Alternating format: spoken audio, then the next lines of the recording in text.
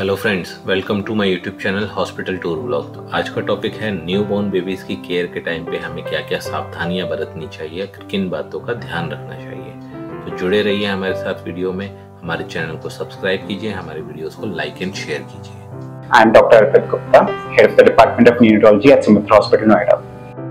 Hello sir Hello. तो sir पहला सवाल हमारा उन माँ बाप की तरफ़ से है जिनका अभी अभी न्यू बॉर्न बेबी हुआ है लेकिन उनको उसकी केयर से रिलेटेड बहुत सारी क्वेरीज हैं। तो उनको किस तरीके से केयर करना चाहिए? सो न्यूबॉर्न बेबीज बहुत ही डेलिकेट फ़ेज़ रहता है। इसमें आपको बेबीज का काफ़ी ध्यान रखना होता है।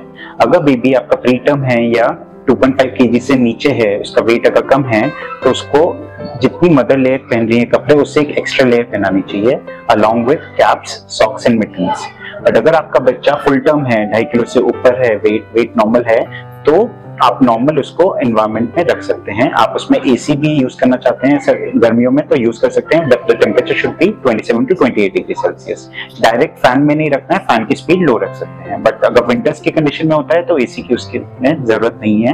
एंड उस टाइम पे आप बच्चे को कैप सॉक्स और मिट्टी बना के रखिए। मेन कंसर्न रहता है बच्चों में हाथ पैर ठंडे नहीं पड़ने चाहिए। तो हाथ, पैर और सर को आप कवर करके रखेंगे तो बच्चा हाइपोथर्मिया में नहीं जाएगा एंड बच्चा हेल्दी रहेगा। सर बच्चे की मालिश कितना इम्पोर्टेंट है आजकल के फेस में?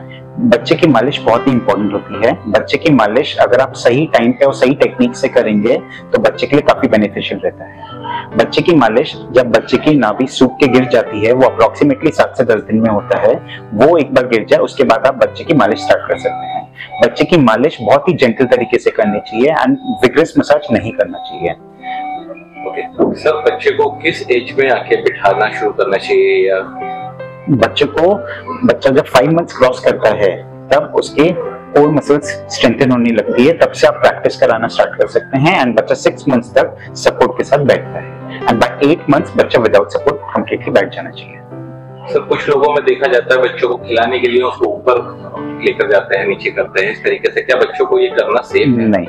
स्पेसिफिकली बेबीज अगर थ्री मंथ से नीचे है तो उसको उछालना नहीं चाहिए क्योंकि उससे कुछ cases of shaken baby syndrome रहते हैं ब्रेन में इंजरी होने का रिस्क रहता है। तो फ़र्स्ट थ्री मंथ्स बहुत ही डेलिकेट फ़ेज़ है इसमें आपको बच्चे को बहुत ही प्यार से रखना चाहिए एंड उसमें कोई भी vigorous massage vigorous activities avoid करनी चाहिए। सर क्या बच्चों को after six months non veg related चीज़ें देना शुरू कर देना चाहिए? आफ्टर सिक्स मंथ्स आप बच्चे को non veg in the form of eggs या चिकन सूप दे सकते हैं एंड कोई भी चीज़ आप मिनिमल या मॉडरेशन में दोगे ठीक है कोई भी चीज़ आप एक्सेस में दोगे तो वो नुकसान करता है।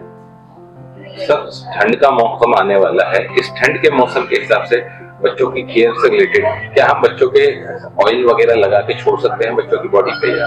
ऑयलिंग आप बिल्कुल कर सकते हो बट ऑयलिंग के अपने फ़ायदे भी हैं नुकसान भी है। फ़ायदा ये है वो बच्चे की स्किन को मॉइस्चराइज करेगा। बट आप ऑयलिंग ज़्यादा देर तक करके रखोगे तो वो सारे पोर्स ब्लॉक करता है जिसकी वजह से रैशेस का रिस्क रहता है। तो it is always advisable oil आप यूज़ करो जेंटल होना चाहिए, एक, बहुत देर तक नहीं लगा के छोड़ना है। प्रेफरेबली आप नहाने से पहले बच्चे की अच्छे से ऑयल से मसाज करो एंड अच्छे से बेथ लो बेथ करने के बाद आप बच्चे की स्किन को मॉइस्चराइज कर सकते हो। ओके सर थैंक यू तो दोस्तों, जैसा आपने देखा, हमने डॉक्टर अर्पित गुप्ता से न्यू बॉर्न बेबीज के बारे में काफ़ी सारी जानकारी हासिल करी। इस जानकारी से आपको डेफिनेटली बहुत फ़ायदा मिलेगा न्यू बॉर्न बेबीज की केयर के लिए। तो ऐसी कोई भी इंफॉर्मेशन अगर आपको और चाहिए तो डॉक्टर अर्पित गुप्ता से कॉन्टेक्ट कर सकते हैं, सुमित्रा हॉस्पिटल में।